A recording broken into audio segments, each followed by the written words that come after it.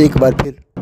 छत्तीसगढ़ के स्वास्थ्य मंत्री टी एस सिंहदेव ने गृह मंत्री ताम्रध्वज साहू के बयानों पर अपनी प्रतिक्रिया दी है। उन्होंने कहा है कि हाँ मेरे चुनाव लड़ने से शायद कोई फ़र्क न पड़े, लेकिन यदि ताम्रध्वज साहू जैसे लोग चुनाव नहीं लड़ेंगे तो फ़र्क पड़ता है। उनके बयान के भी अलग अलग मायने निकाले जा रहे हैं। सुनिए उन्होंने क्या कहा? बात हुई थी उनका कहना था कि मैंने कई चीज़ों को कहा था लेकिन मीडिया ने छांट के दो लाइन निकाल दी। मेरा कोई ऐसा आशय नहीं था। वैसे इसमें कोई दो बात नहीं है कि सूर्योदय और सूर्यास्त होता रहेगा पृथ्वी पे। हम आएँगे, आप आएँगे, जाएँगे, ये प्रक्रिया चली, चलती रहेगी, आपके बच्चे आएँगे, आपके नाती पोते आएँगे, वो भी आएँगे और जा, चले जाएँगे। तो ये किसी के जाने से पृथ्वी का जो चक्र है, ये रुकता नहीं।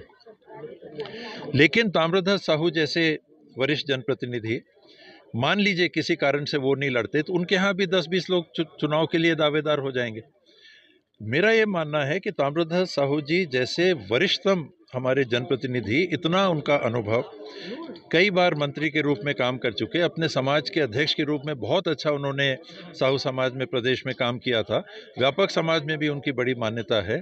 तो ऐसे व्यक्ति चुनाव नहीं लड़ेंगे अगर, उनकी जगह लड़ने वाले तो बीसों मिल जाएँगे फ़र्क कैसे नहीं पड़ेगा? तो ताम्रध्वज मेरी बात नहीं है। मेरे रहने नहीं रहने से कोई फ़र्क नहीं पड़ेगा ये मैं स्वीकार करता हूँ। लेकिन मुझे लगता है कि ताम्रध्वज साहू जी किसी कारण से अगर चुनाव नहीं लड़े या ऐसा कोई भी व्यक्ति जो कि समाज में सक्रिय रूप से बहुत सालों से योगदान दे रहा हो और यदि उनकी स्वीकार रुकता है तो नहीं लड़ने से तो फ़र्क पड़ेगा। बहुत जल्दी बयान उन्होंने नहीं दे दिया आपको लेकर आपसे बात भी तो भी कर सकते थे मेरे से बात करने वाली कोई बात ही नहीं थी इसमें। और जैसे आप मेरे से पूछ रहे हैं तो मीडिया को हम लोग इतना सम्मान देते हैं कि कभी भी कोई बात आती है तो हम लोग आदरपूर्वक जवाब भी रखते हैं सामने। उसमें कभी कभी जैसा साहू जी ने कहा कि एक अंश अगर निकल के रख दिया जाएगा, रख तो उसका मतलब कोई और हो जाता है। शायद उनकी ऐसी मंशा ना रही हो। कहना वो कुछ और चाह रहे हों। बाकी सबका अपना अपना आकलन होता है और लोगों के बारे में। उनका आकलन अलग हो सकता है। लंबा उन्होंने बोला था इस बात को एक अंश वहाँ कैसे खसक जाएगा? मतलब जो मैंने भी देखा प्रक्रिया मीडिया में बाबा इसमें कांग्रेस पदाधिकारियों ने प्रतिक्रिया भी अपनी देखी कि ये ऐसा बयान नहीं आना चाहिए मैं अपने बारे में तो कुछ नहीं कह सकता ना उनके बयान के बारे में बिल्कुल मैं कुछ कहना नहीं चाहूँगा। मेरे बहुत ही स्नेहिल संबंध उनसे हैं। हम लोग कई अवसरों पे साथ काम करते हैं एक से एक जगह साथ में हैं। अभी पार्टी में भी, सरकार में भी साथ में है।